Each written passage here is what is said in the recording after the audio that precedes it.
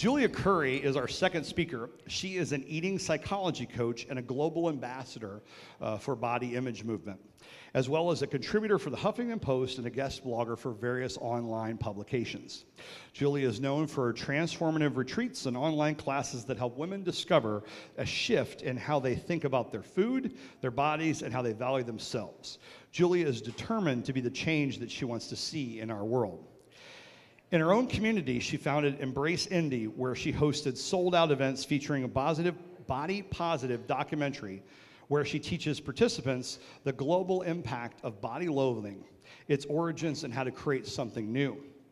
Julie earned a BA in communications and has certified from the Institute for the Psychology of Eating, the Center for Strategic Intervention, and the Southeastern School of Clinical Neuromuscular and Massage Therapy. You can find out more about Julia and her services by visiting juliacurry.com. Please help me welcome Julia to the Spark stage.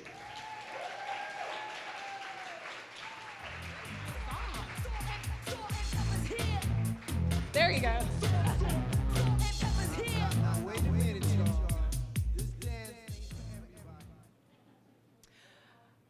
I was addicted to running from pain. We all have our hiding places. You know, those things that we reach for when we feel vulnerable. For me, it was food. Well, not just food, but food was the worst, anyways. And after 15 years of fighting it, I was exhausted, ashamed.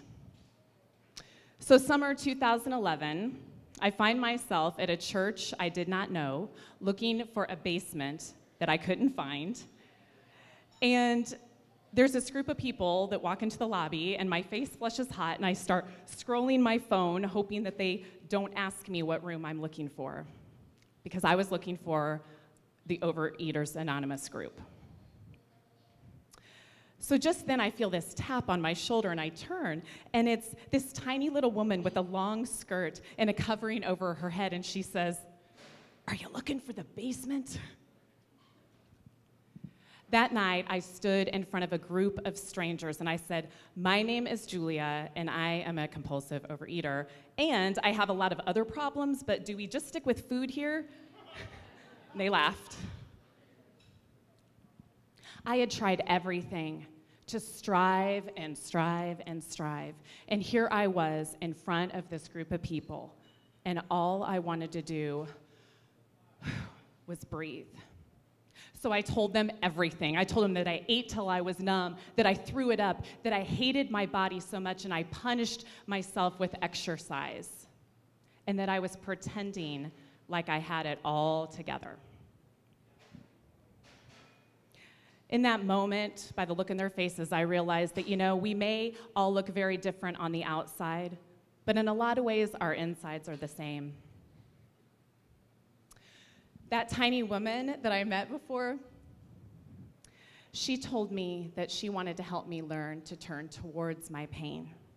Because she said that although pain isn't likable, it's very trustable. And I looked at her like, what? So she became my sponsor. So this woman called me every single day for a year, almost every day, and taught me how to sit with my pain for 30 seconds, a minute, or longer. And I began to realize that what was inside of me was so much bigger than the pain that I feared. We strive so hard. We try to change our habits, our bodies, our persona, and even our partners because we don't want to feel pain. We all have our hiding places, and trying to fix ourselves is one of them. So listen to your restlessness. You know that little twinge you get right when you're about to reach for something you don't need.